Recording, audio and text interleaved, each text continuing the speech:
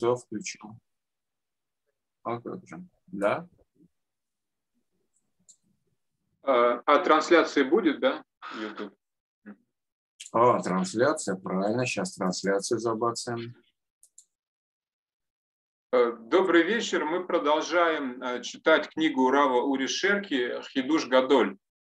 А, и мы сегодня, я надеюсь, закончим ее раздел, который называется «Аводат Хашем» – «Служение Всевышнему». И на следующем уже э, с Божьей помощью перейдем к разделу, который называется «Авода Зара» – «Чужое служение» или «Идолопоклонство». А, я сначала прочитаю перевод всего отрывка, перевод довольно черновой, термины тут порой, порой непростые – а потом мы углубимся а, в иврит, если что, объясним и обсудим. А, итак, двикут аметит, а, настоящее прилепление. Иудаизм монотеистичен, а не спиритуалистичен. Спиритуалисты полагают, что главное – это то, что происходит в сердце и в духе.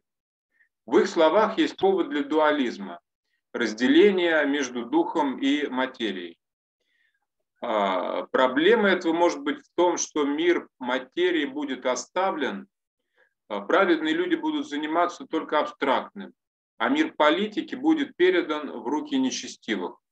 Это противоречит иудаизму, уникальное открытие которого в том, что Господь един. Невозможно говорить о настоящем прилеплении к Богу, если ты не присоединяешь все измерения реальности к этому прилеплению. Служение Всевышнему не может быть совершенным, если оно не включает в себя как духовно святое измерение, так и материально-культовое. Ну, здесь нужно пояснить, наверное, ряд терминов. Двикут, да, известное слово, которое часто просто не переводят. А, я склоняюсь к тому, чтобы переводить его как прилепление. Да, это все-таки такой наиболее а, близкий корень.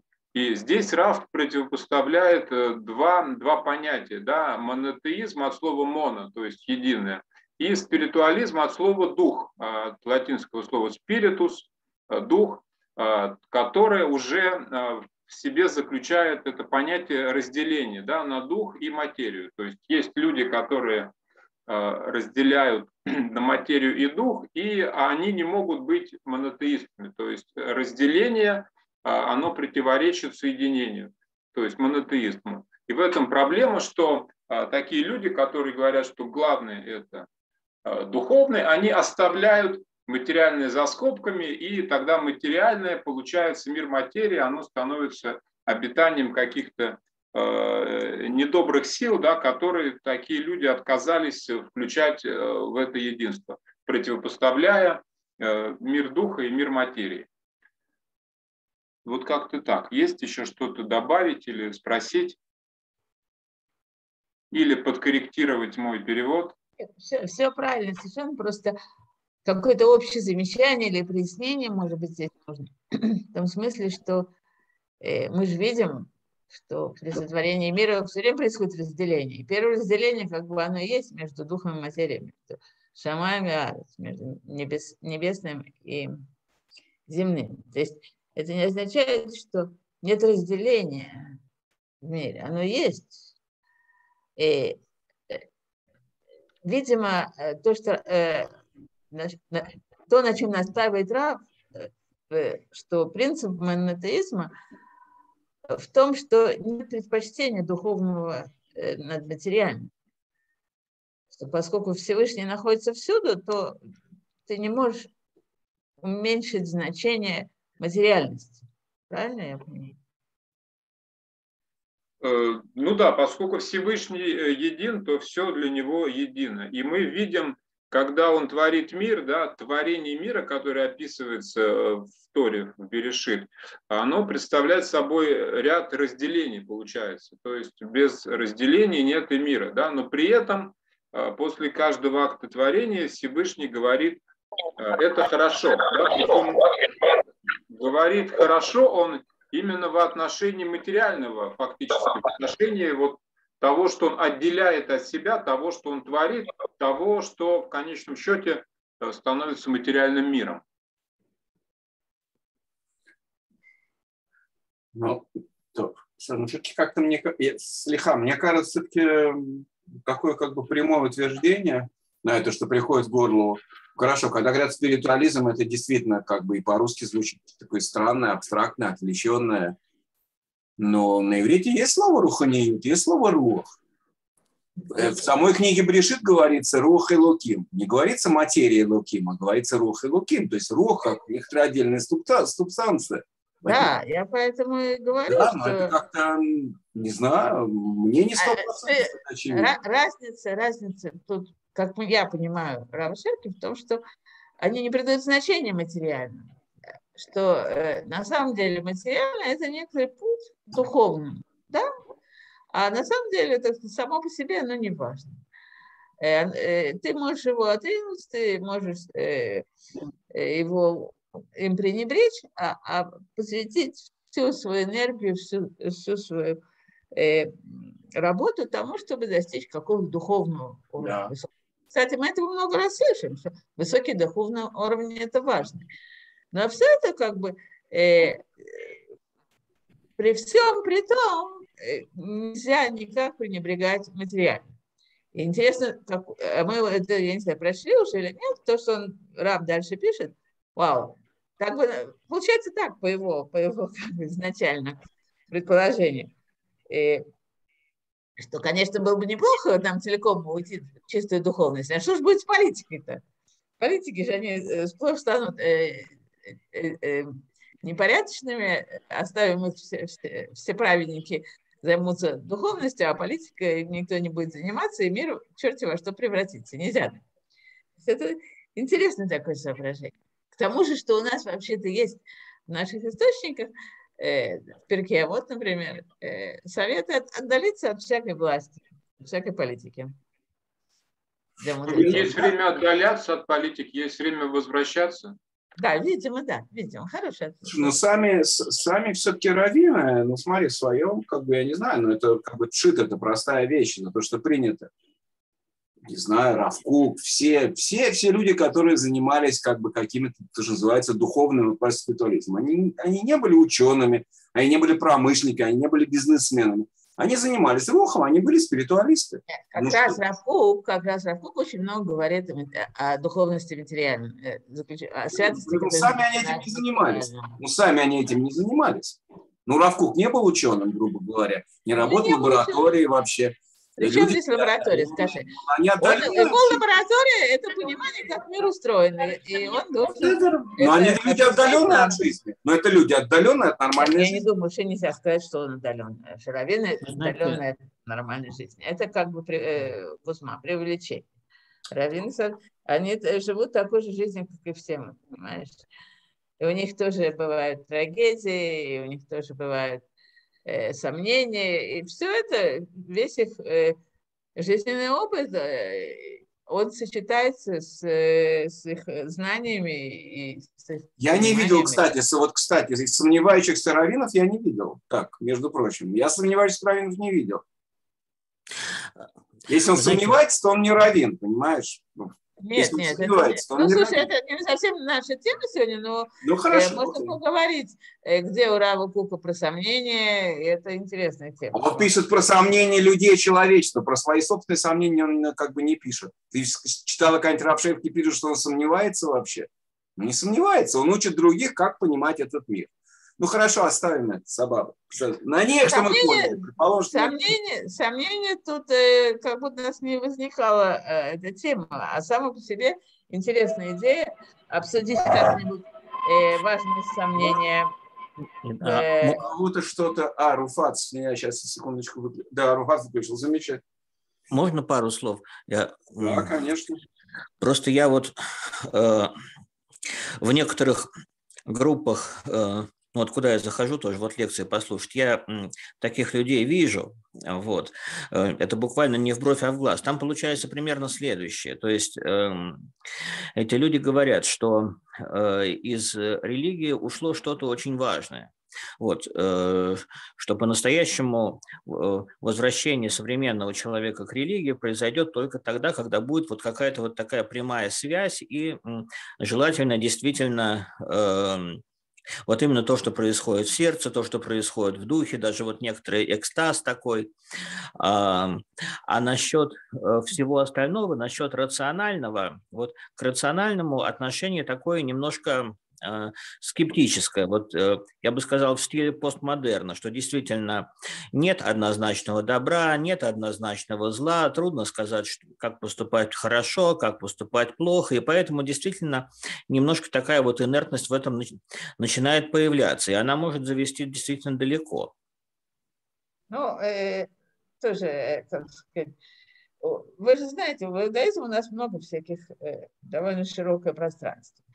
И в определенных группах действительно могут быть такие как бы, э, тенденции, такие подходы. И как бы, мне кажется, здесь не место нам э, выходить с критикой этих подходов. Но явно Рав Шерки против этого выступает. Э, Нет, и, это, не... собственно, и это, собственно, как бы э, и в соответствии с учением Маниту, и особенно в соответствии с учением Рава Кука.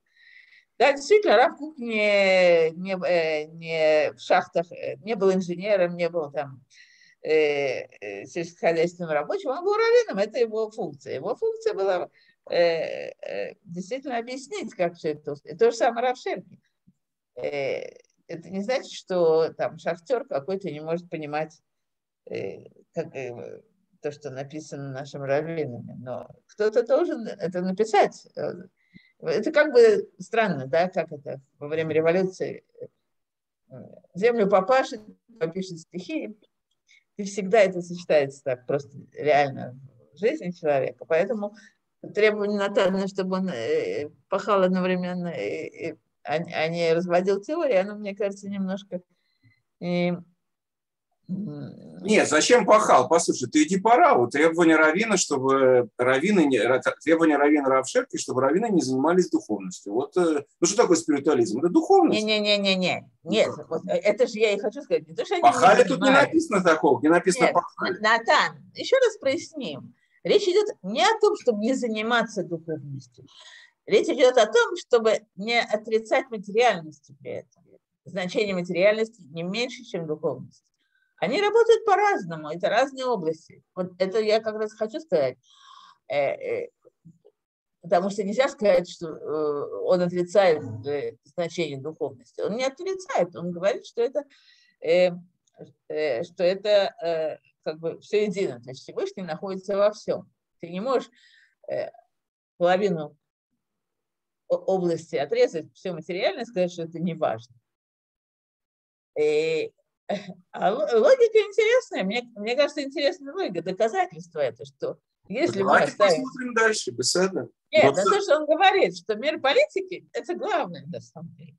Вот, если мы все уйдем в духовность, тоже будут заниматься политикой одни э, злодеи. Это занятно, потому что, ну, а кто будет пахать, а кто будет э, развивать науку? Много можно было бы сказать, э, что это тоже важные вещи в смысле развития мира и, и и продвижение его конечной цели. Но важнее всего, как бы здесь оказывается политика. Это okay. занятно, мне кажется, потому что э, на что-то это намекает нам, на то, что, вообще говоря, самым важным и конечным результатом, возможно, э, продвижение мира к идеалу, это когда у нас э, политика станет, э, э, в политике будет проявляться святость, когда народы там э, эти, раз позабыв, да, в единой семье объединяться и все такое.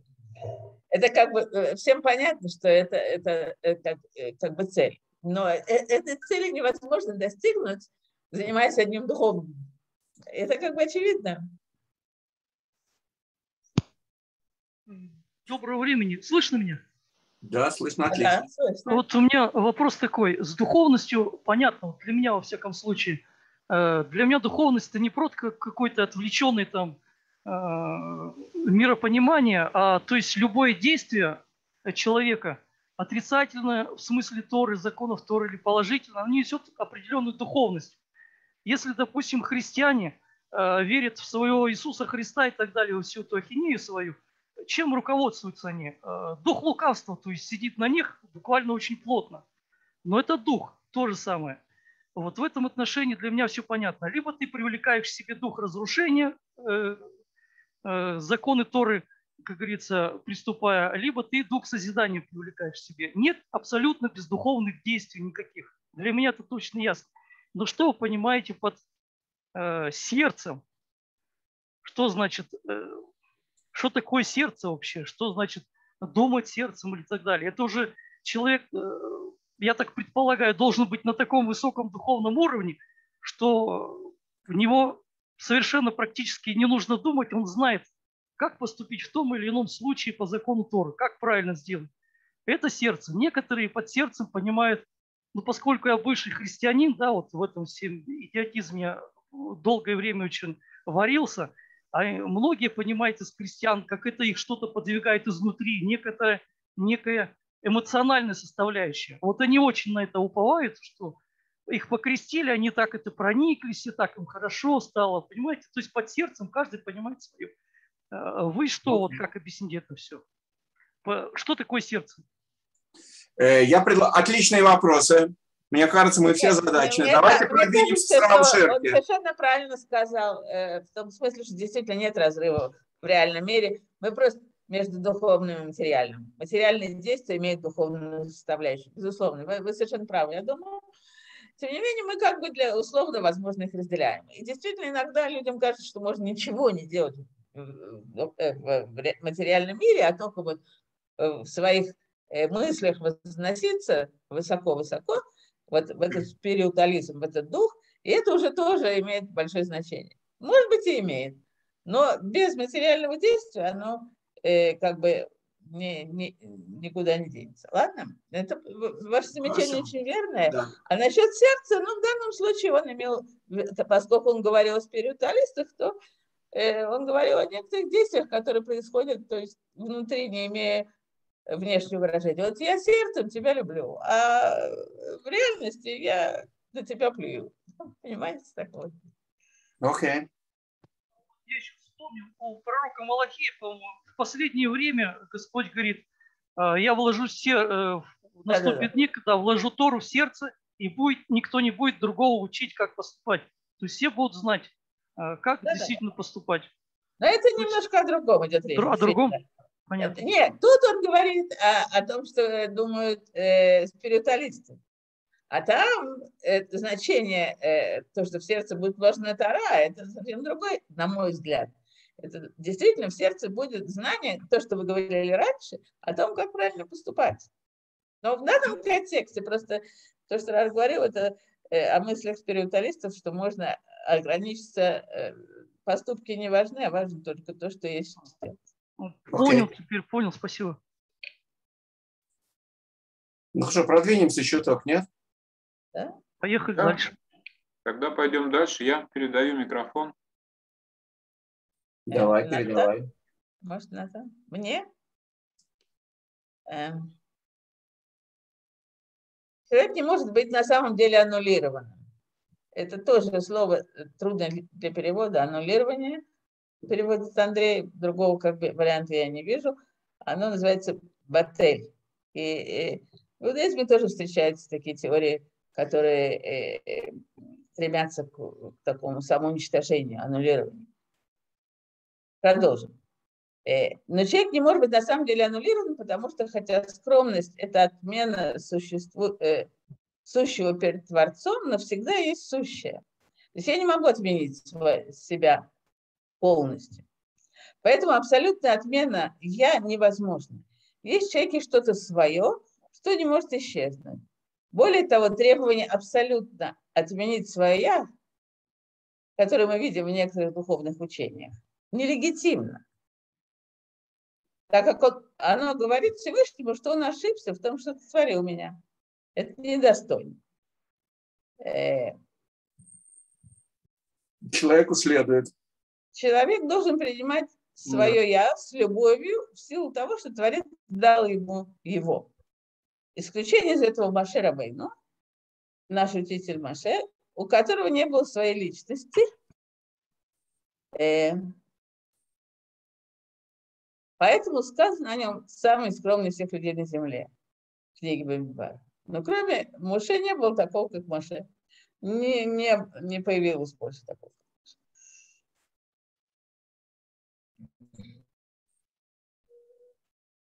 Тут есть два, два аспекта. Во-первых, это невозможно. Человек не может полностью отказаться от своей личности, пока он э, существует. Ну, в духовных разных учениях как бы есть, э, безусловно, такое представление, что это возможно, но э, Раву Шерки, я думаю, в иудаизме более э, ясное представление, что полностью это невозможно никогда. А с другой стороны, э, Рав говорит, что это неправильно совершенно, потому что когда Бог создавал мою личность, у него было какой-то, э, какие-то планы в отношении меня. Он это сделал с какой-то своей целью, не для того, чтобы я, ну, как бы, извините, бросил это в лицо и мне не нужна эта личность. Я хочу раствориться в тебе полностью. То есть это как бы и, и некрасиво так поступать, да? Э, но, а как же Моисей, что он был совершенно Э, полностью прозрачным, полностью скромным, то есть целиком он свою волю, свою личность от, как бы э, отменил перед волей Всевышнего, Шарки говорит, что таким его сотворил Всевышний. Поскольку, видимо, у него была миссия очень важная, и без Муше мы не смогли бы получить вторую адекватную. Такое у меня ощущение. Вы знаете, не думаю, что э, Маше Рабейну был совершенно безличностным таким человеком. Это а, не это означает. Не, не, не, не то, что он, э, у него не было личности совсем, а то, что он мог... Э, главное, вот то, что говорит, что не было, как понимается, то, что не был, что он самый скромный человек, и что его пророчество было э, совершенно прозрачно, а с покларием Миратус называется.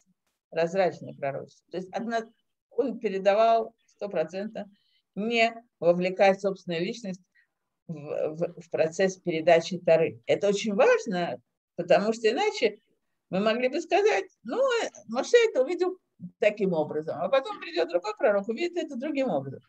Я просто здесь в скобках замечу, действительно, во многих случаях мы видим, что два пророка э, говорят как бы об одном и том же, буквально есть целые куски, если вы знаете, в Танахе, которые повторяются, там у Шияу и э, у Малахи, или, или или э, э, кажется, в Малахи. И они совершенно по-разному видят при этом ситуацию, совершенно по-разному. Потому что другие пророки, у них э, личность задействована в передаче пророчества. Они рассказывают то, что они видят. Как-то божественное слово преломляется в его личности, в его понимании. Все пророки так, кроме Моисея. Поэтому э, как бы э, мы э, очень уважаем их пророчество, но такого, как э, пророчество, как у Моше, который давал нам пророк, такого не было и не будет больше. Ну, в смысле передачи, это... в смысле а? передачи пророчества, да. Э, Маше непосредственно принимал все это и передавал. Да, да, да. Но, но он же это был личностью. Он был личностью. Он был ну, личностью. Ну, это не, э, э, я, я вас понимаю, мне тоже как бы ясно, что это человек со, с какими-то личными качествами. Например, когда Бог ему предлагает э, э, пойти и вывести народ из Египта, он отказывается. То есть это на самом деле довольно стандартная ситуация, когда Бог посылает пророка с какой-то миссии, прежде всего пророк отказывается. И у Моше то же самое. То есть это как бы, э, если бы он, его личности не существовал, как бы он отказывался. Видимо, тут идет речь о некоторой другой определенном свойстве личности, способности себя полностью аннулировать перед э, желанием Всевышнего. Не то, что он э, превращается в робота, и у него своей личности нет. Это так вот как бы трудно, наверное, правильно перевести и правильно интерпретировать вот то, что Послушание. Может быть, слово послушание такое? То есть послушание законам э, Всевышнего. Нет, это не совсем послушание, я думаю. Ну, э, мне кажется, трудно это определить точно, но это не означает, что у него нет, э, совсем нет личности. Это, мне кажется, то есть может написано, быть его личность, да? может быть его личность э, совпала с Богом. То есть там нет различия. Хватало желания Бога. Но тут написано, ну, на самом деле, Рав пишет, что Хаялу и Шиют Мишело. У него не было собственной личности. Но она не то, что всегда не было. А вот каких-то моментов, видимо, или он умел отменять все, все свое, так сказать, все свои стремления, все свои личные желания э, и, и действовать только так, как Всевышний ему говорит. Но это вообще довольно спорно. Мне кажется, мне здесь тоже до конца не понятно. основная проблематика это в дефиниции слова личность.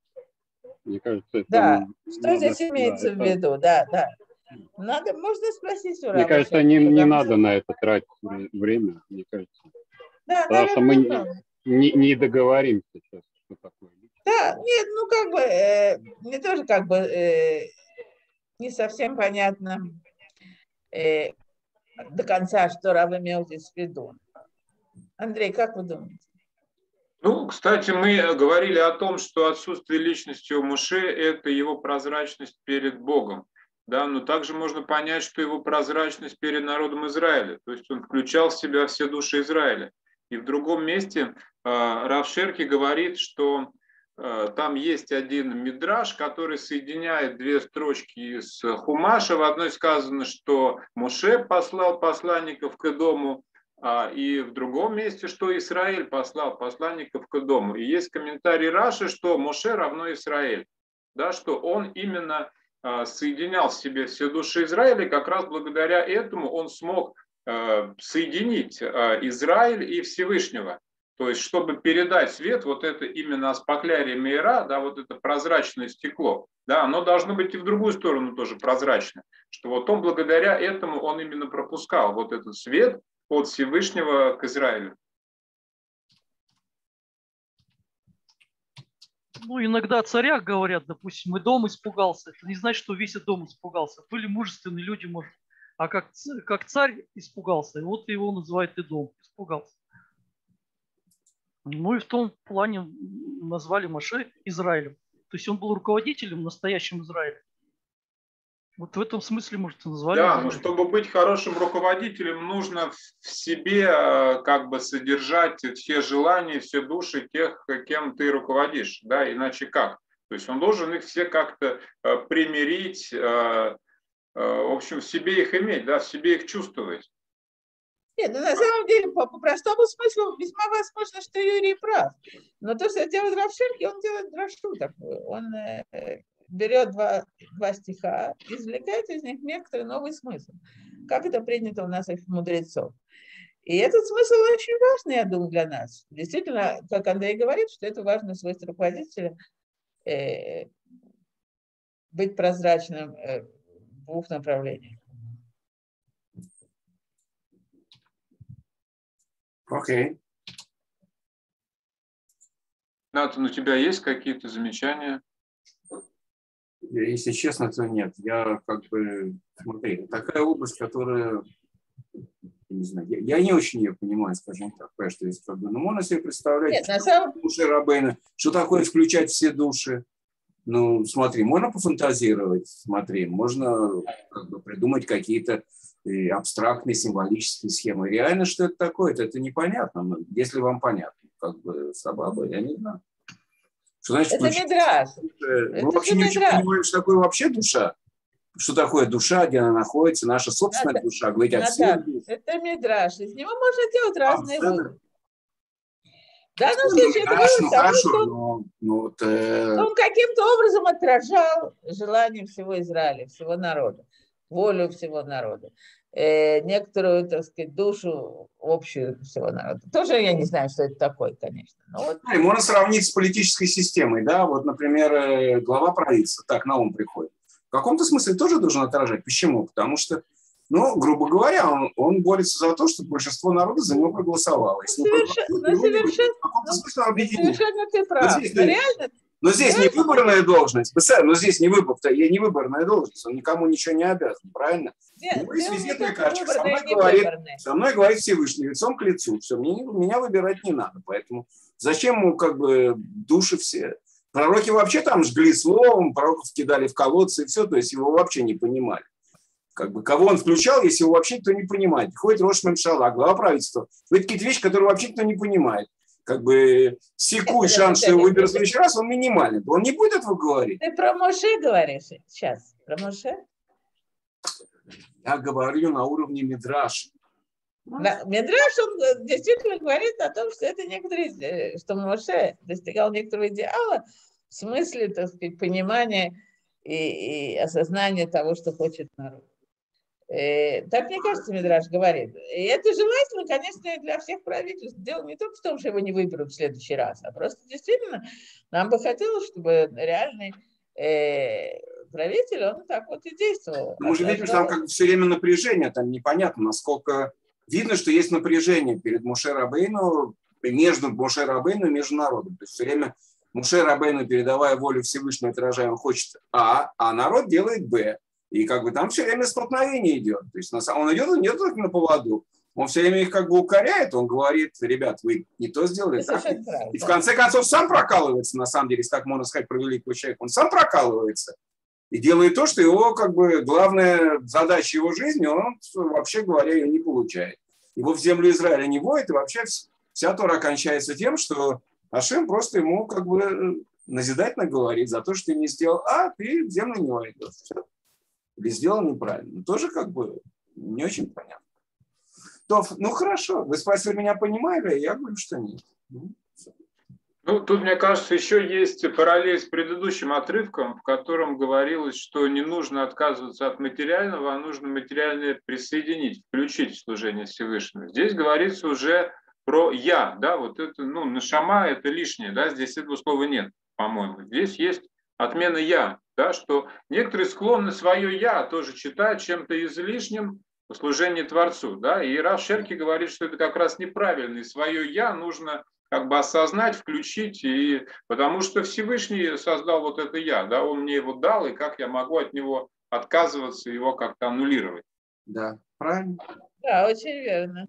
Ну, смотри, я, я так очень осторожно сейчас скажу, да, смотри, мне кажется, как бы задача Равина, Равина Рава Шерки, это привлечь людей, которые считают и дальше считают, как по отношению к вере, к религии, то, что обычно считают нерелигиозные люди, ну, как, как в современном Израиле. Считают, что религия – это как бы человек уничтожается его индивидуальность, что мы видим, что люди, которые индивидуальны, ну, скажем, по-настоящему, да, э, писатели, э, люди искусства и все прочее, они очень редко религиозны. Почему они полностью погружены своим собственным миром, выражают его всему остальному человечеству, а человечество иногда ему рукоплечит, и все. Они как бы не занимаются вопросами религии.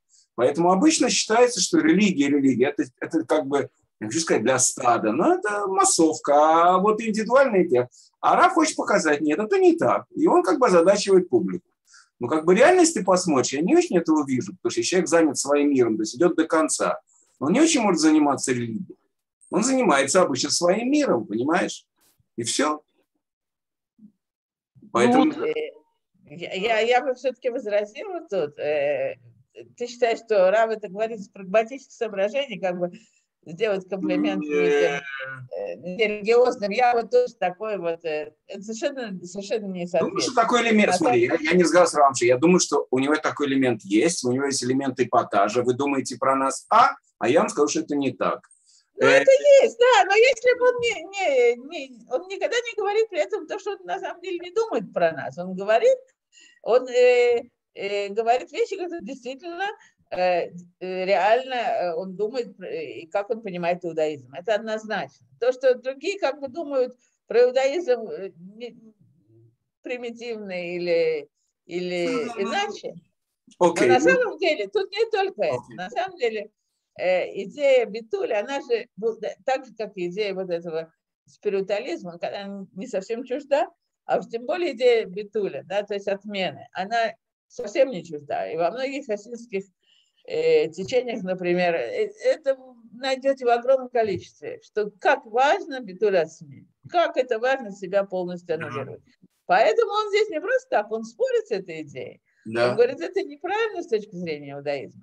То есть, наверное, какая-то, какой-то небольшой битуль, там, он, может быть, и, и, и не отрицает, но полное, полное Э, ну, то, что Раф, то, что Раф в принципе об этом говорит, с моей точки это уже хорошо.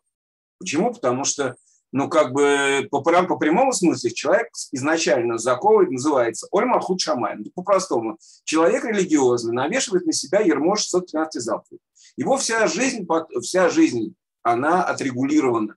Ему, он ну, каждую минуту, секунду, он знает, что ему, или он, он знает, ну, что ну, ну, читал, прочитал, пошел в туалет, сказал, покушал. Ну, не сядь на пенек, съешь пирожок и так далее. Все время это у него ну, все время. Это, миллион, это так мало, на самом деле. Такую маленькую часть нашей жизни составляют обязательные вещи. Реально, ты же религиозный человек, ты понимаешь, что большая часть жизни ты делаешь все по собственному выбору. Э, на ком жениться, э, где выбирать зал. Ну, это тоже как, ну смотри, ну опять, смотри, посмотри у ребят, которые себя ребят, да, которые называют себя ультраортодоксальными. То есть, ну как бы, ну они, они религиозные. Ну там все, что значит жениться. Ну сказали шедух, тебе, значит, ты женишься. Не, не, как люди выглядят. Люди выглядят черно их примитивизировать. Какая они индивидуальность? Люди выглядят черно Они женятся на, на, на, тем, на том, кого выбирают, а не потому, что им сказали. Конечно, их настраивают так, чтобы раньше жениться. Это может быть. Они немножко лохуцим на эту тему. И они женятся быстрее, чем, чем наши дети. У нас, может быть, это и проблема. Можно я спрошу? Да. Я вот не совсем понимаю, как немножко себя аннулировать или полностью аннулировать. Угу. Я вот не совсем понимаю здесь, э, можно ли применять градацию. Вот это да, это Руфа хорошо говорит, да, правильно. Я тоже не понимаю. Как можно себя немножко аннулировать? Человек не да. своей индивидуальности. Как можно немножко... Правильно совершенно. Я тоже вот это... Я не понимаю, как можно себя чуть-чуть аннулировать. Ну, как если... А я думаю, что можно себя чуть-чуть это... ампутировать, но невозможно, по смыслу. Нет, нет. Э, безусловно, это идет речь о том, насколько человек э, принимает божественный, э, например, суд или так далее, или и свое желание смиряет перед тем, что ему представляется требованиям Всевышнего. И такие проблемы возникают очень часто у, у человека, который э, действительно соблюдает заповеди, и там э, решает, как, принимает какие-то решения. Но это настолько индивидуально, что я просто мне трудно сейчас принести, привести пример. Да?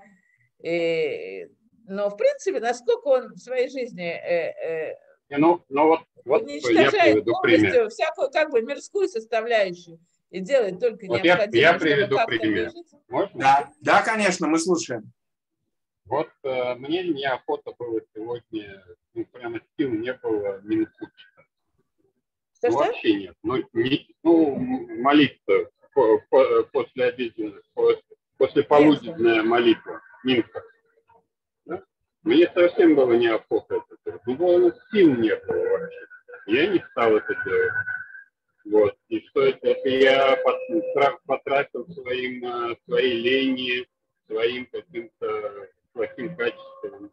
Или, или что. Это я, это я полностью ну, себя не аннулировал или полностью аннулировал. Это тоже может быть примером, но на самом деле даже тогда, когда мы возьмем двух людей, которые каждый из них соблюдает полностью, э, они могут идти совершенно разными путями. Человек там Раз помолился Шахаль, потом побежал работу целый день, вкалывал, потом где-то в середине Минху, потом в конце Мари, проучил там пять строчек где-то, все, он может всюду поставить галочки, я все сделал. А другой человек, который работает минимально где-то, только чтобы содержать себя и свою семью на каком-то очень низком уровне, а все остальное время он посвящает изучению Тары, добрым делам и так далее, и так далее. Он как бы считает, что все, э, желание Всевышнего это вот самое главное, а то, что вот э, мои какие-то личные удобства, мои какие-то личные потребности, это все мелочи. То есть эта шкала очень длинная такая, да, на которой человек может дойти до крайности и сказать, что я вообще не, все, все принимаю, все, что ты э, со мной делаешь, вот э, какие-то, не дай бог, с ним происходит несчастье, я это принимаю. Э, приведу, приведу, может быть, такой пример. Это немножко, я не помню, про какого э, Рава это говорили. По-моему, у него э, умер э, сын, да. И пришли люди там после похорон на к нему, и он что-то долго не выходил, когда он вышел, он объяснил. Я э, долго сидел, сосредотачивался на том, чтобы э, сказать браху, ну, слова, которые говорят э, в результате э, смерти близкого человека, Барух Дая Даймет, такой же кавана, как я говорил в благословении, когда э, этот сын родился. То есть той же радости принятия.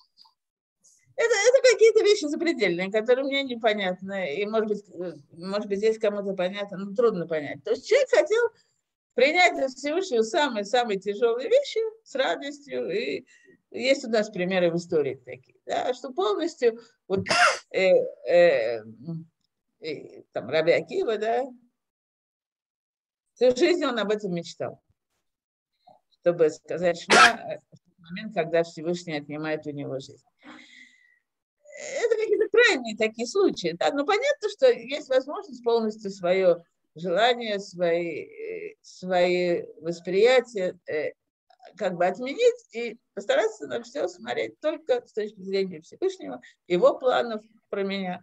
И благословять на все, что, что бы с тобой ни случилось. Благословен Всевышний. Да? Со мной ничего плохого не случается. Но это как бы Э, не каждый на это способен. А с другой стороны, Рам говорит, что это даже э, вообще до конца невозможно. А, э, а может быть и нехорошо. В какой степени это хорошо, в какой степени это плохо, это очень индивидуально. Да? И, э, и поэтому тут очень трудно какие-то рекомендации давать. Но кроме всего прочего, я хочу сказать, что поскольку это, этот э, аргумент очень сильный. То, что Всевышний создал мою личность, ему она важна. И то, что наш братец Авраам спорит со Всевышним, это ему важно, что тот э, э, умеет противостоять ему, умеет высказать то, что он лично понимает, Авраам. И он, то, что он лично считает, где э, он не, может быть не согласен между с Богом, это проявление его личности. И эта личность важна для Всевышнего, потому что если этой личности нет, то нет никакого диалога между Богом и человеком. А не кажется ли это, что это просто ну, как бы расширение своего я, не аннулирование или трансформирование? Ну, то есть э, ребенок развивается, у него есть потенциал, он развивается, он не может же быть все время младенцем. Так и здесь э, ты понимаешь, что ты должен какой-то границе. Тань, в этом смысле это, конечно, правильно. Это не то, что вообще отменяет, э, ты должен делать то, что ты хочешь, поскольку ты личность. Он же этого не говорит. Какие-то свои, как сказать, ты понимаешь, какие-то свои э, потребности, какие-то свои представления, желания, ты должен подчинить воле Всевышнего. Но не, не полностью, иначе у тебя личности не останется. И не с кем разговаривать. Вот мне так кажется. Может, сперва подчинить, а потом оно станет да. моей, моей сутью. Ну хорошо, мы можем подвести черту и сказать, что, по-видимому, Рав говорит, что даже у религиозного человека у него может оставаться какая-то своя индивидуальность, не надо ее бояться, так по-простому. Ну, Нет, он говорит, что она должна оставаться. И в этом смысле, возможно, есть тут диалог с какими-то хотите движениями. Ну да, то есть что-то должно остаться. Окей, ну замечательно. Ну вот у меня такой э, мысль такая возникла. Религия в переводе с латинского, по-моему, связь, да? И у каждого один сознает, что есть Всевышний. Он к нему обращается, он понимает, исполняет, старается законы Торы исполнять. А у другого такой связи нету как бы. И вот говорят, он не религиозный. А почему он, собственно, не религиозный? Он живет в этом мире, он с нами общается, он что-то делает значит, он Богу важен, и значит, связь с Богом у него все-таки есть. Понимаете, тоже так по аналогии с духовностью, с духовным человеком, бездуховным, э, совершенно не религиозного человека нет. У каждого из нас есть связь определенная. А, то есть Замечательно, Замечательно по-моему, да?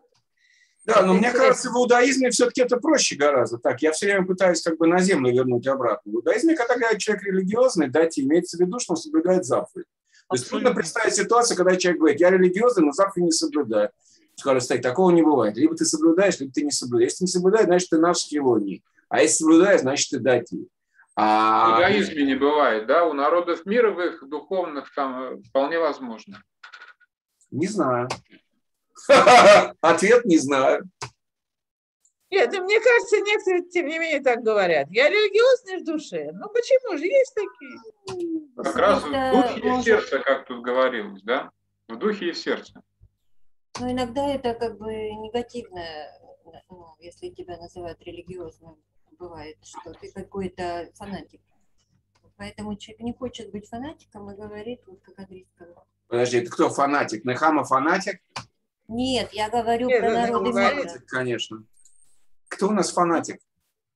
Я говорю то, что Андрей сказал. А, окей. Ну, бывает такое, это смотря какое понятие человек вкладывает в слово религиозное. Да, это очень важно. Вот христиане под любовью одно понимают, а... И под Всевышним тоже. Да, и под Всевышнего тоже. У них там три лица в одном стакане. И это да. что такое? Поэтому нужно определиться с понятием вначале, прежде чем говорить, а мы там ну, часто не определяемся. Да. Ну, мы сейчас почитаем еще Равина и определимся, я думаю. Почитаем еще Равина и определимся. Мы сейчас как в начале находимся, нам трудно понять. Какая наверное, Ну вот, кстати, насчет того, чтобы отказаться от своего я так и так далее. Соблюдая законы Тора, там коридор очень широкий. То есть ты, поступая так или иначе, тебе человек дал разум, ты все-таки соображаешь, как лучше это сделать, как лучше поступить. Э, то есть... Э, Но не сильно соображаешь. Ну, почему не сильно? Ну, так, не, реально не сильно соображаешь. Что значит думаешь? Человек, скажем, накладывает филин. Он не может накладывать спереди, либо сзади. Не знаешь, иди к раввину, он тебе скажет, как накладывать надо. Семь раз закрутить. Так, так, так, так. Что значит не знаешь? Спроси, тебе скажут. Утром проснулся, как говорить ему Даниил Фрейд? Тебе скажут, опусти ноги, подними ноги и так дальше. Все написано, Шулханару как ни вправо, ни влево. Ну, Натан, не, не об этом Ну что, ну послушай, ну я тебе реально говорю. Так это все сделано как раз для того, чтобы включать материальность служения. Вот обратите да, внимание, наверное. со стороны это видно, да, что все заповеди еврейские, да, они связаны с материей. То есть о чем всегда там думают евреи, там как должна выглядеть сука, там какое расстояние, какую выбрать и трог, да, то есть у них всегда все заповеди обращают внимание еврея на материальное. Да, то есть казалось бы, что он с одной стороны битуль все делает, а с другой стороны он занимается включением материального в служение, да, о чем вот мы читали как раз. И то же самое делает Равшерки, он включает в служение вот этих светских, да, которым он говорит на их языке, он говорит, что а, как бы иудаизм не такой, как вы думали, что это не дело фанатиков да, в черных шляпах, а это дело нормальных э, израильских молодых ребят и так далее. То есть как раз вот это то, что называют здесь монотеизмом или это инклюзивным единством, да, то есть единство, включающее в себя все. Все законы имеют прикладной характер. Нет ничего абсолютно отвлеченного и какого-то мистического в Торе. То есть изначально с первого, самого, с первой главы, с первого стиха понятно, что все эти законы имеют прикладной характер. Ну как? Написано, человек каждый день говорит шма. Шма начинается. Будешь любить ты Господа Бога своего. Э, что прикладного есть любви? Особенно к любви к, не, к предмету, который ты не можешь ощутить никакими шестью этими э, осязаемыми Э, возможностями. Ну так а что тут прикладного? Что прикладного в заповеди любить Бога? Есть определенные действия, с помощью которых ты любишь Бога. Исполняя заповеди, значит любишь. Вот в чем дело. Там... начала... Зачем тогда провозглашать? Человек закрывает глаза и говорит. Ну, а что, зачем тогда не надо? Я не знаю, зачем, зачем говорят... Он зачем себе это говорит. Ну, чего? Бог Если сказал. пока не скажешь, пока не Бог скажешь, сказ... Бог сказал закрыть глаза и произносить об этом. В Торе это есть или нет? Или это люди придумали? Там есть практическое, совершенно практически, я говорю практическое руководство. Руководство в действии Тора – это руководство в действии. А что там люди придумали закрыть глаза? Да не закрыть, да можно Это написано шма, шма, слушай, значит да. не смотри. Раз слушай, значит не смотри, поэтому закрывают глаза. По-моему, а все когда, просто. А когда у Синая люди стояли, они слушали, смотрели, они видели, слышали. Слова, слова видели. Э, видели, видели слова. голоса, да, голоса да. опять же видели. Образы не видели. Ну да. Но у нас человек скажет, я вот придет, скажет, я вот вижу голоса. Ну понятно, куда он попадет, правильно? Мы к этому относимся. Видели голоса. Но там же сколько было людей. Что-что?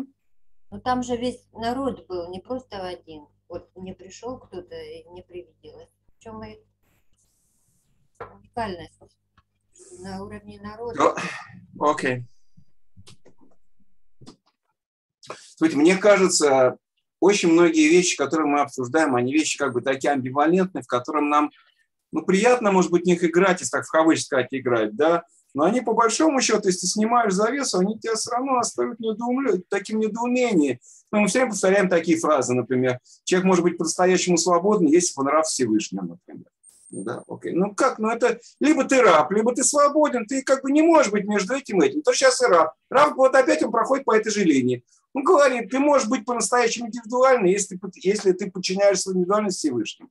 Ну, как бы, ну, на уровне... Не-не-не, ты, ты зря, это, это, тут нет а, это зря. Нет. Ты, просто ты здесь неправильно, нет, ты, он этого здесь не говорит. Он, нет, там это действительно так, это действительно требовало осмысления и понимания. Тут он не говорит это. Он говорит, важно очень подчинять можно себя Всевышнему, но ты не должен целиком подчиняться. Он не говорит, что это больше уровень подчинения. Нет, okay. подчинение это подчинение, а индивидуальность это индивидуальность, это вещь, которая... Ну, хорошо, мы согласны. Послушай, мы сейчас будем читать э, Сефер Брешит, да? Но там написано, с одной стороны, бы целым и луким. Сказано бы целым и кадмутона, то есть можно понимать, с одной стороны, все в образе Божьем, в том смысле, что индивидуальности нет, а все сделаны как бы по подобию. А подобие это одно, есть некоторые штанцы, есть некоторые темплейт, есть шаблоны.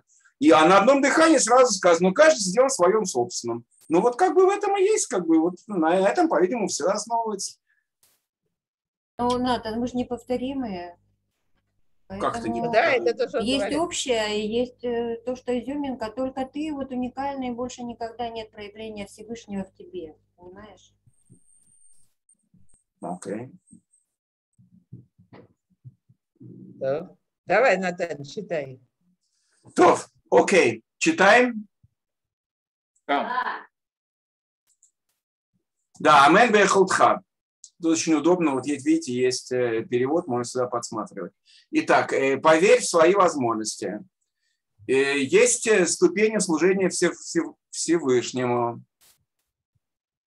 И несмотря на то, что сказано о том, что они, вот эти ступени, по-видимому, предназначены только для людей особенных, для таких избранных людей, э, а вообще обычному, обычному человеку, а Адам, Кварлома, Амин. Да, и человек может, ну, наверное, из-за того, что бытует такое мнение, что это может быть только люди особенные, то человек может э, э, потерять веру в то, что у него у самого, как бы у обычного человека, я добавляю, у него есть возможность э, достичь вот эти ступени. Э, а вот надо знать, предполагать, предполагать я добавил, что есть возможность достичь их, эти ступени, я, это я добавляю. Э, и не откидывать или отбрасывать это совершенно. Это в смысле вот, наверное, достижения этих ступеней. Но только не надо падать в такую иллюзию, что ты как бы вот уже там, да? И, а на самом деле ты туда еще не дошел. Ну, вот как бы... То есть, как бы, наверное, Раф говорит, смотри, надо жить с мыслью о том, что ты вообще можешь познать Всевышнего, можешь как-то подняться и все. Но тебе не надо говорить, что ты там. Потому что как кто-то скажет, ты там, тебе раввины будут не нужны. А вот э, тебе говорит, ты вообще не зазнавайся. Ты не думаешь, что ты уже там. Ну, ты еще не там, ты в дороге. А когда ты в дороге, то мы тебе поможем. Нормальное объяснение? Нет, да, прекрасно. Нет, он все время наезжает на раввинов, да. Но как же, действительно, если все уже решают, что они там, ну, да. раввины будут ни к чему, и денег платить не Понятное будут. дело, это, да. По-моему, пошел, это безобразие. То, человек пошел на какие-то курсы, и вдруг оказывается, что он уже знает так же, как учитель. Ну, поэтому учитель говорит, слушай, ты не зазнавайся вообще, ты как бы что-то такое умеешь вообще делать? Но, но между нами действительно э, э, это не просто быть на высокой ступени, это очевидно это не, не каждый человек там э, может его достичь. Это, это понятно.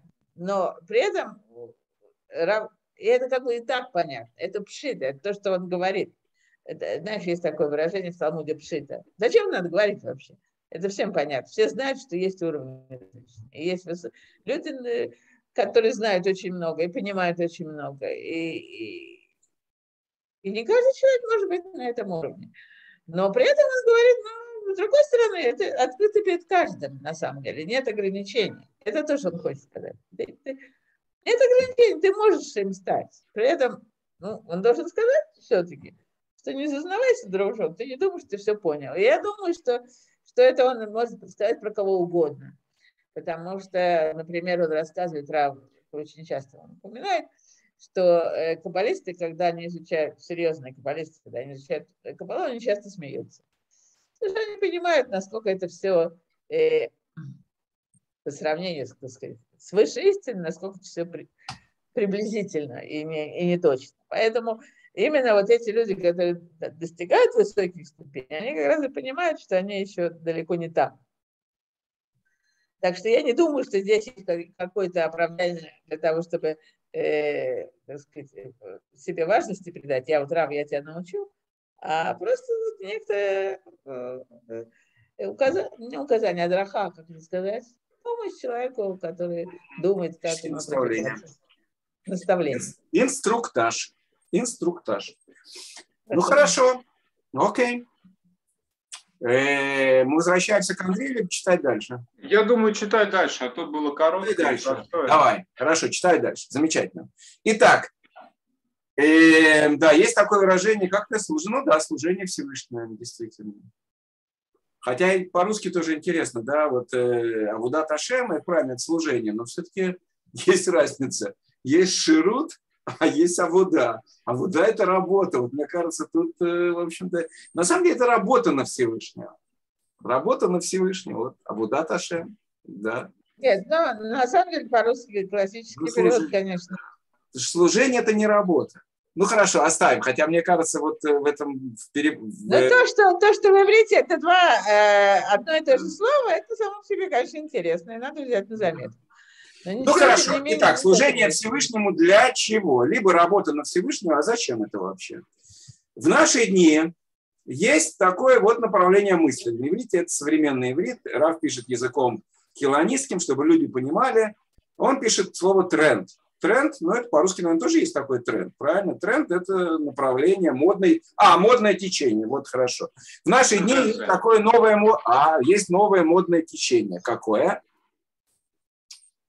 Э, желание уч- занима- учить Тору и служить Всевышнему. Почему? Потому что человек говорит, это я добавил от себя, ну от этого мне хорошо, хорошо мне от этого. Зелселитов. Есть это на иврите есть такое выражение. Зелселитов. Это, это очень похоже на то, что дети, это я сейчас себя добавляю, и Раф этого не пишет. В, на иврите слиха, не, даже не на иврите, а в Израиле, самый распространенное выражение, которое дети начинают говорить, как только они только рождаются. Вот они из матери появляются, у них есть две фразы, которые они повторяют все время. Одно слово, одна фраза называется «бали», а второе слово называется «ло-бали». И это, а перевод такой э, «хочу, не хочу». Вот то ли это где-то вот «бали», вот это вот, вот это вот «бали». Вот это вот то самое «бали», которое слышишь на каждом этом. Это, это человек тогда, это как бы, мне кажется, снимает э, всякое объяснение. Потому что человеку хорошо, оставь его в покое. Ну, то в лот. Ну так оставь его. Окей, Рав говорит, что это не так. Продолжаю дальше. Человек говорит, это мне, от этого мне хорошо, я кайфую от этого. И это помогает мне по-настоящему реализовать себя. Ну, такой вот, я думаю, здесь Раф на коучинг наезжает, на самом деле. Ну, сейчас увидим. Итак, а, вот он пишет как раз, вместо того, чтобы взять порцию джойнта, таких наркотиков, да, э, э, люди берут немножко Рабин Ахмана э, в такой ну, популярной форме. А тогда возникает вопрос, а в чем смысл вот такой работы, с такого служения? Это вообще что такое? Это некоторый э, спиритуальный эгоизм, или действительно, действительно человек таким образом, он э, открывает божественное присутствие Шехина. Если это открытие божественного присутствия, тогда это должно быть не для меня, а это для меня должно быть для Всевышнего. Ну, по-видимому, ответ Рав дал такой, что когда человек говорит «мне хорошо», он тем самым как бы выбивает почву из всего этого служения. Все-таки идея в том, что должно быть, ты делаешь хорошо для Всевышнего, а не для себя. Ну, что, во всяком случае, вместе. Ну, так я понимаю. Если ради Всевышнего, тогда и ради себя. А если только ради себя, тогда может быть автономия. Ну, тут интересно, что есть еще две плоскости намерения, да, два вопроса. Духовный эгоизм или раскрытие шхины. И второй вопрос. Или ради себя, или ради Всевышнего. Ну, это как э, в Ганедине. Это всегда тест такой, мне кажется, он постоянно. Тебя спросить, а, а для чего? То есть получается, что все-таки э, ради Всевышнего а, это намерение, оно должно вытекать из предыдущего намерения, то есть раскрытия шхины. Мы должны служить, изучать Тору, служить Всевышнему ради раскрытия шхины. А дальше уже задумываться, для чего мне раскрытие шхины, надо оно мне или надо оно Всевышнему. Но ведь, Андрей, это в принципе для себя будет, если ради Всевышнего. Ну, в том-то и дело. Как вот тогда получается избавиться от вот этого э, намерения ради себя, если это делает мне хорошо реально?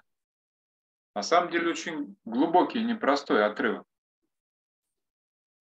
Ну, человеку Делать... свойственно как бы автономно быть. Поэтому, когда говорят ради Всевышнего, он себя там не включает. А наоборот, здесь включение идет, потому что Всевышний это... Я же тоже... Можно задать более, э, более сложный вопрос.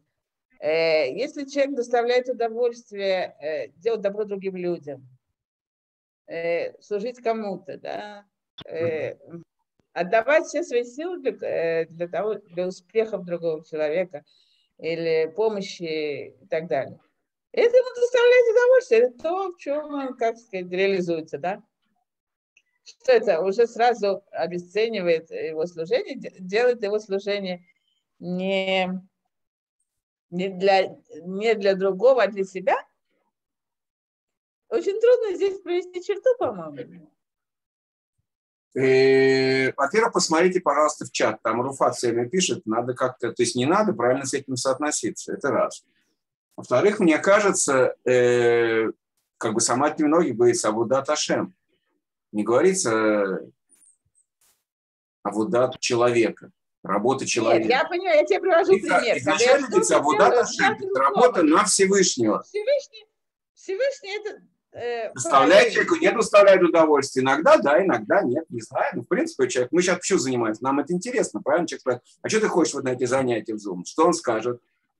Я работаю на Всевышнего, он скажет, мне интересно. Многие преподаватели, например, говорят, а почему вы занимаетесь этой темой, а нет? Он говорит, ну мне это интересно. Ну хорошо, но он же говорит, мне это интересно, мне лично это интересно. А по идее, должны были сказать, нет такого интересного. Вот тебе там три года сиди и зубри мешну. Зубри в хорошем смысле слова, слово мешна. Вот и все. А интересно, неинтересно, это что это такое? Это книжки, это билетристика, интересно, неинтересно. У нас такого нет. У нас вот положено учить раз, два, три, четыре, пять. Все. Но мне кажется, я внутренне, внутренне, я как бы, я понимаю, про что говорит потому что ну, это везде, во всем мире, в том числе и в России, и в Израиле тоже есть. Есть некоторое направление, которое, по-видимому, пугает равина, для раввинов. Чем оно пугает? Тем, что они видят, наверное, что есть некоторое э, потеря ценности, как это слово было, девальвация. Есть девальвация слова духовного. Когда люди как бы, вот чуть-чуть, он же пишет, чуть-чуть, чуть-чуть рабина, значит, не по-настоящему, он изучает его не по-настоящему. Возникает вопрос, что такое по-настоящему учить? Ну а что такое по-настоящему учить Рабин Ахман? Быть таким же сумасшедшим в кавычках, как Рабин Ахман? А чуть-чуть не надо. А что значит не чуть-чуть? Ну вот не чуть-чуть, по-видимому, это, наверное, э, слушать лекции Рава Шерки, я сейчас без смеха говорю, слушать лекции Рава Шерки по Раби Нахмату. Вот это, наверное, нормальный стандарт. Окей. Ну хорошо, что делаем дальше? Продвигаемся дальше. Ну, пока у нас как бы вопросы, понятно, мы как бы где-то что-то понимаем, но понятно, что как бы однозначно дважды два четыре. Это не получается, правильно?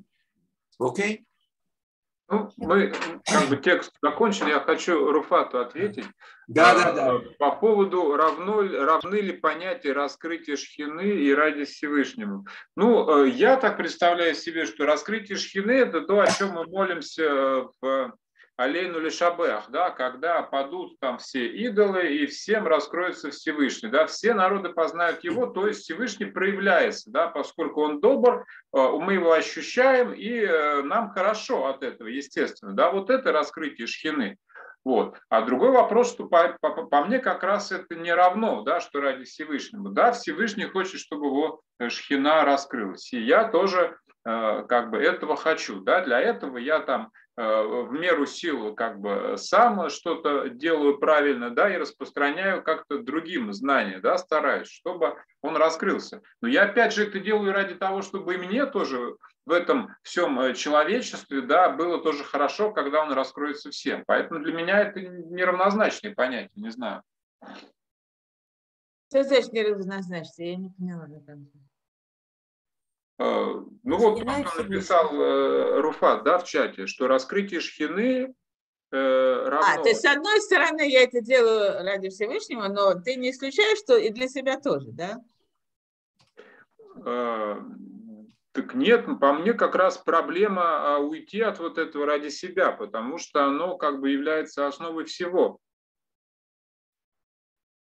И где мне кажется, что я делаю не ради себя, да, а ради Всевышнего. Если покопаться, выясняется, что все равно ради себя.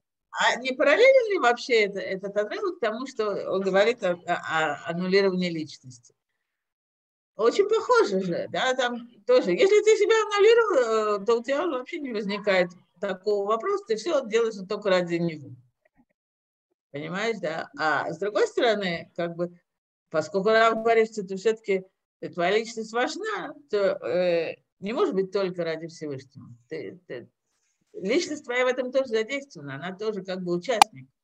И она может вполне э, обладать правом голоса и считать, сказать, считать, что это для нее тоже. Ну, мне так кажется. Я, может быть, здесь не согласна с формой, которую Рава говорит, или даже с Равом. Но у меня такое ощущение, что от этого нельзя уйти, от того, что ты делаешь это и для себя тоже.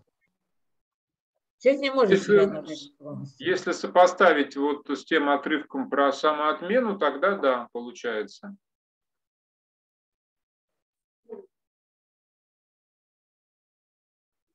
Ну, по вектору надо идти, да, Елена, конечно. Так, вот Лена пишет, очень интересно, я озвучу. По-моему, важен предыдущий отрывок. Чтобы служить, нужно, по крайней мере, идти по вектору, что ты должен делать это ради Всевышнего потому что человек тщеславен, и часто кажется, э, что ты что-то уже знаешь.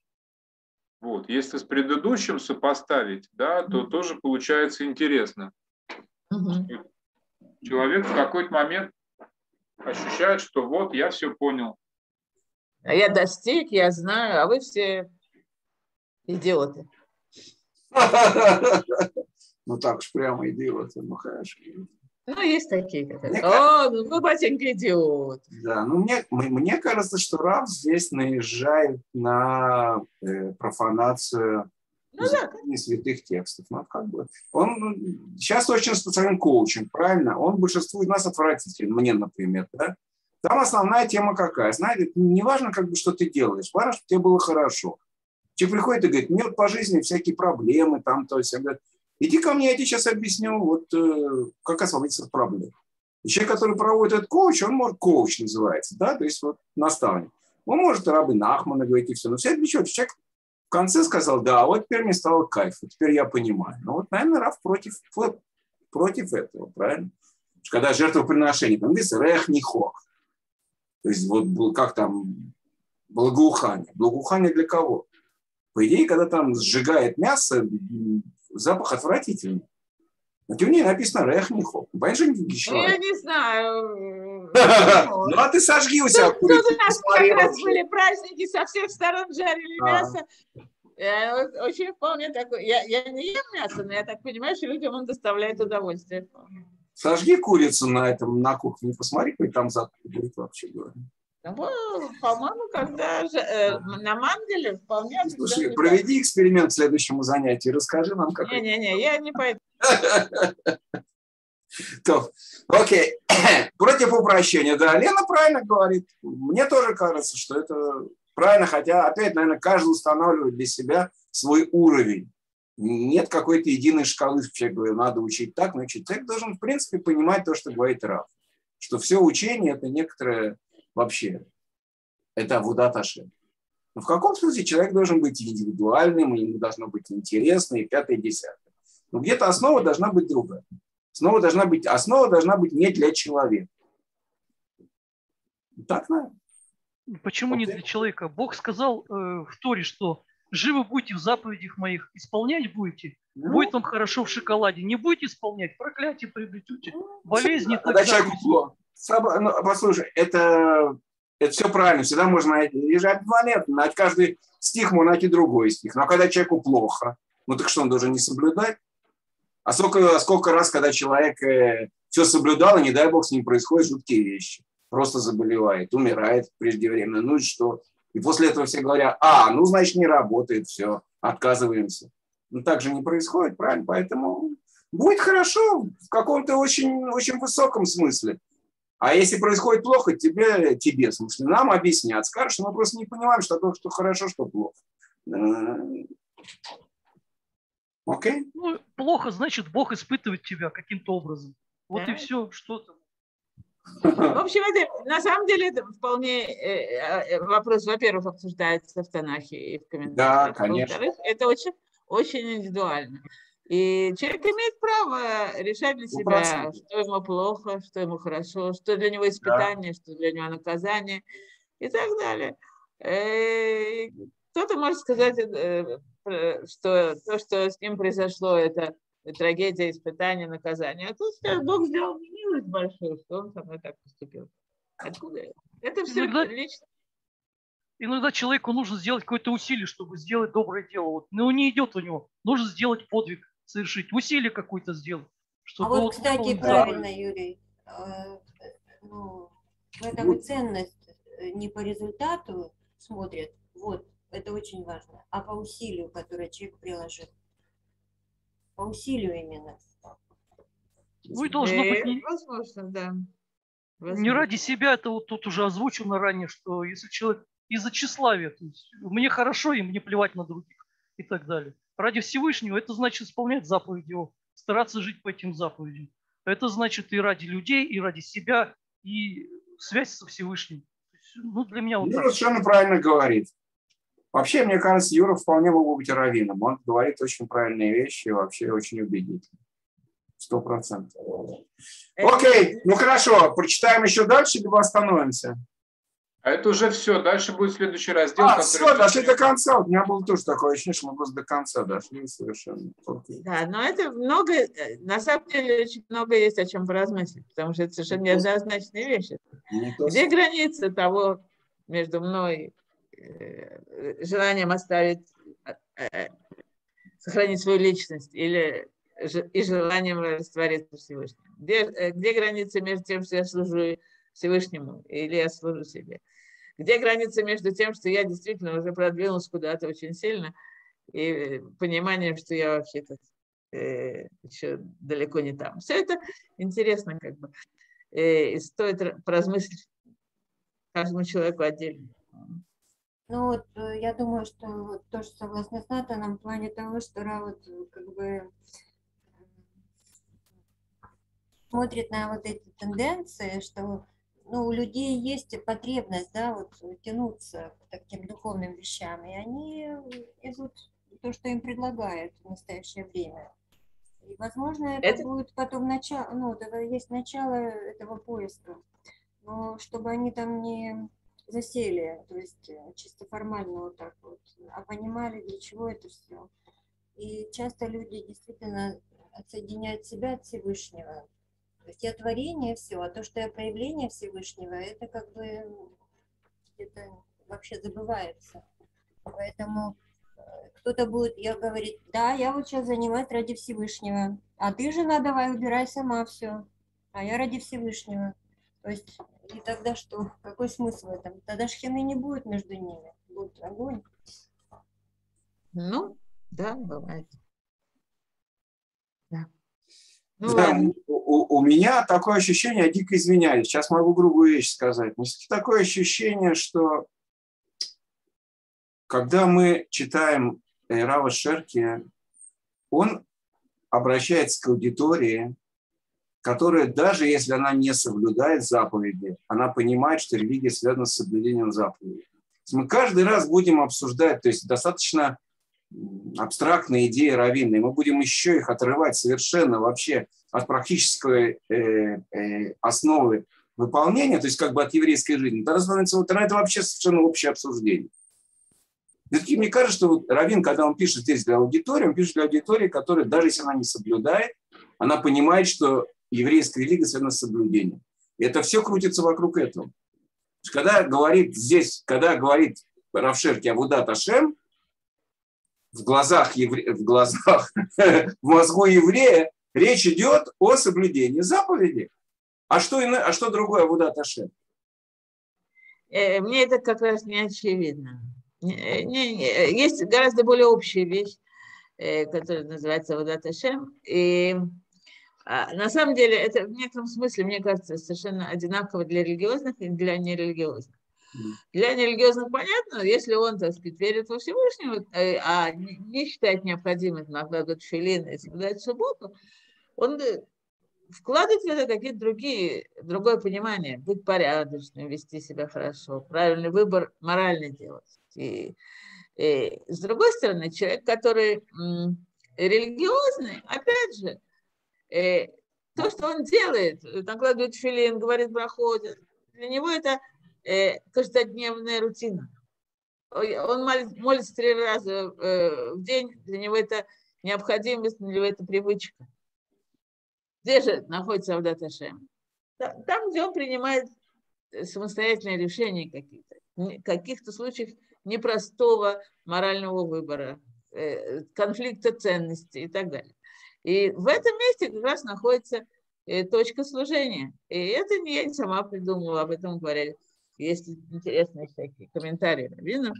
Равутна, например, писал э, об этом интересную вещь. Ну, мы не, э, как бы я не хочу далеко углубляться, но э, как раз это э, Абадат Ашем, это, мне кажется, и Равшерке кажется, что это имеет в виду вовсе не накладывание тфилины и э, э, благословение кошерной пищи, а именно моральный выбор. Э, И это главное, что, в общем-то, он требует от э, человека и от человечества. Всевышнего. Какое у меня ощущение? Окей. Это Спасибо, Что он имеет в виду, когда он пишет «Рацион лильмот Тура»? Он же не пишет, э, почему именно лильмот Тура, а почему не читать э, философов. Почему? Почему он пишет, почему, когда он здесь говорит, он говорит, «Чи- почитай немножко Раби Нахмана. Почему именно Раби Нахмана? Почитай Платона. Почитай Аристотеля. Почему именно Раби Нахмана? Ну, потому что он все время обращается к аудитории, для которой заточена на как бы э, на одну символику, на одни понятия. Но мне так кажется, я же как бы не Ну, настаиваю. правильно? ну, я, я же не спорю с, этой, с этим. Я только говорю, что а, служение Всевышнему, на мой взгляд, это вещь гораздо более общая, чем э, рутинное соблюдение заповедей, которое, в общем, в принципе, стандартный религиозный человек, он это делает нормальным образом. Там, э, это, м, ну, разве что у него есть очень сильный, как бы, э, антагонизм, и он ненавидит ходить в синагогу и там э, каждый раз принуждает себя делать какие-то вещи. А обычный религиозный человек, он в этом мире живет, он это делает э, как бы зурем, ну, естественным образом. Встает утром, идет в синагогу, потом бежит на работу, потом... Но это э, плохо? нет. Это плохо? Нет, только это, это для него рутина, это для него уже э, вообще естественный В образ жизни жизни. рутина. Человек встал А? утром, человек встал Нет. утром, помылся, В тусел. жизни есть очень многие вещи, которые не рутина. Есть, всегда, ты да. каждый Для жизни ты человека каждый это день рутина. день- Ты не ты можешь- Ты не есть, много- ты можешь не есть, это рутина. Не, не, не я не про это говорю. Ты, ты- Ага. ты, э, каждый день ты не обращаешь даже, или я, не обращаю внимания даже на это, делаем миллион вещей, которые, собственно, являются выбором, причем моральным выбором. Э, э, И это не всегда очевидная вещь. Ну хорошо, Иногда- читать благословление после еды, это моральный Нет, выбор. Нет, нет, в том-то я кусок хлеба, прочитай, и все. Что тут думать? Нет, это не моральный выбор, это то, что я тебе хочу сказать. А другое дело, вот я пришла, сосед попро- там, э, попросила что-то тебе посидеть с ребенком. А я сейчас занят, у меня сейчас урок. Да, например. А что важнее? Не просто. Да. Если, если ребенок, если ребенок чужой, она Не, не. Если Не, ребенок не, свой, я это- сидеть нет, я, я просто про- в голову мне пришло какой-то простейший этот самый пример. Ну, примеров таких миллион, каждую минуту. Просто мы иногда... Ты, тебя кто-то там разозлил, или кто- ты не понял его, или он, ты не можешь с ним договориться. Ты начинаешь на него там выливать все свое раздражение, которое по- из-за миллиона вещей. Ну а что делает религиозный человек в такой ситуации? Идет к Равину и спрашивает, Равин, что правильно Ну, делать? конечно, он, э, он сначала наорет, а потом пойдет к раввину. Э, Религиозный человек, религиозный Ладно, человек на не смерть Левину, на смерть не Левину. задает такие вопросы раввину. Окей. Он, Ну, он решает для себя. Каждый миг он решает. Каждый день он решает такие вещи. И это на самом деле обладательство.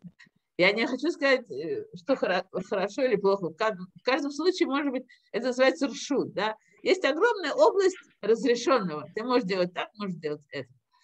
Тебе никто не- в этой э, области тебя не, регули- не, не регулируют никакие э, законы и никакие.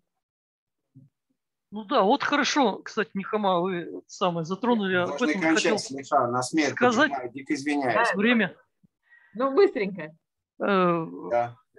Человеку пришло время молиться, а сосед не еврей попросил с ребенком посидеть. А я вот к раввину хочу спросить, а можно мне сидеть или нет? Или что мне Да. делать?